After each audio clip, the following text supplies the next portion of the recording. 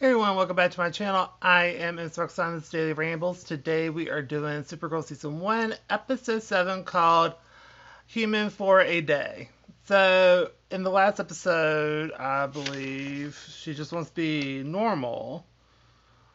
And, or it was like in the previous episode that she just wants to be like a normal person for a day. Well, now she got her wish because um, since she overdid it fighting the other villain, uh, her powers are zapped for a little bit, and I think James said that Superman called it sunspots or something like that.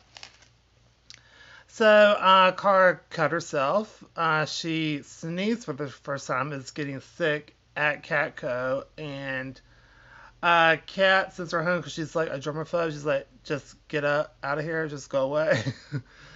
And so uh, she goes home, and then we have a uh, a, uh, a DEO prisoner taunts Henshaw, and then there's an earthquake that happens, and Kara broke her arm with that whole thing.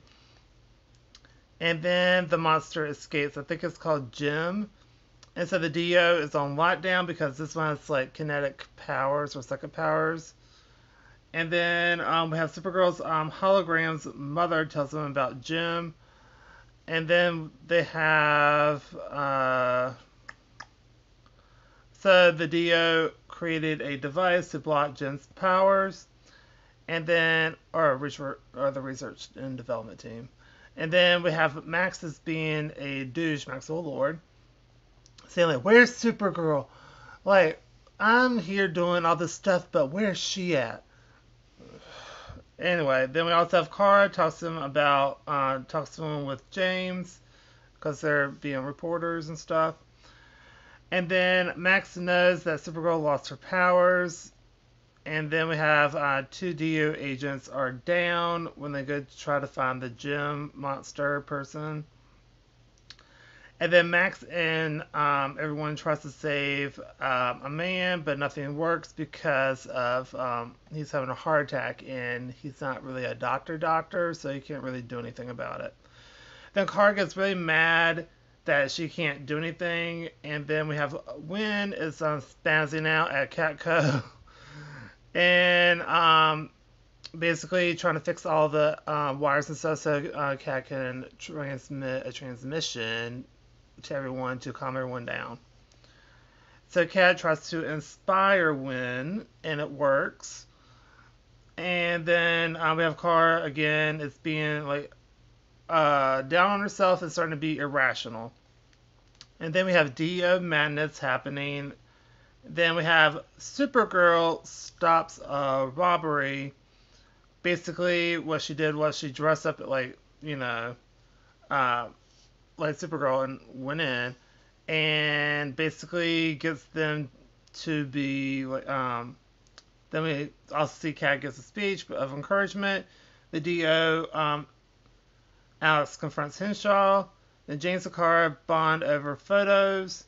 So basically, what they did was uh, she dressed up as um, Supergirl, went to the store and managed to stop people from looting and to basically don't be like a douche, basically, and it works. And then we have Winn walks in on Kara and uh, James, and then Winn gets really angry. and then Aftershock kicks in, and then there's a gas gas explosion, and then the Jim then it's Jim versus Alex. Uh, so she hits him in the gym with a gun and that knocks out off his second ability, and then Hank offs him.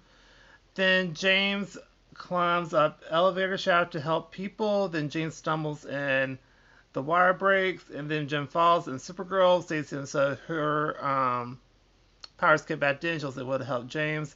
Then Supergirl um, saving the day. And then we have Alex and Henshaw talk some more, and turns out he is not who he says he is, but he is J'onn J'onzz a Green Martian. And then uh, tells the story of what really happened. So basically, he rescued his father rescued him.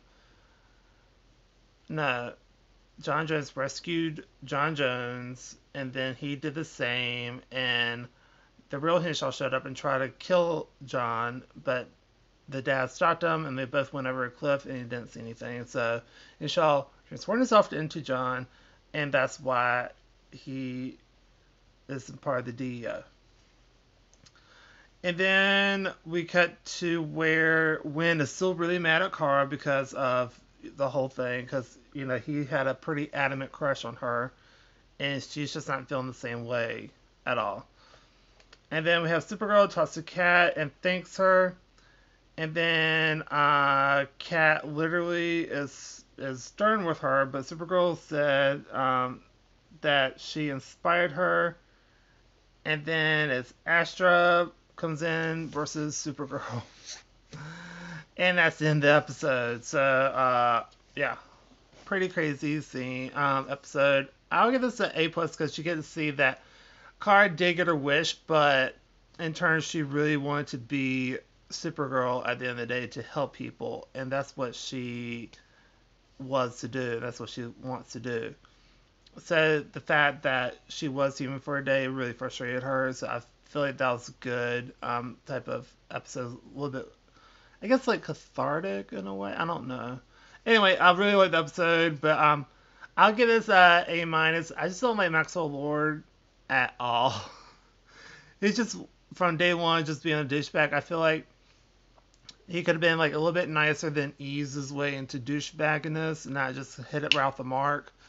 Because I feel like that's been done like too many times. So I feel like they just kind of slowed it down a little bit and like made it more gradual, you know, it'll be better.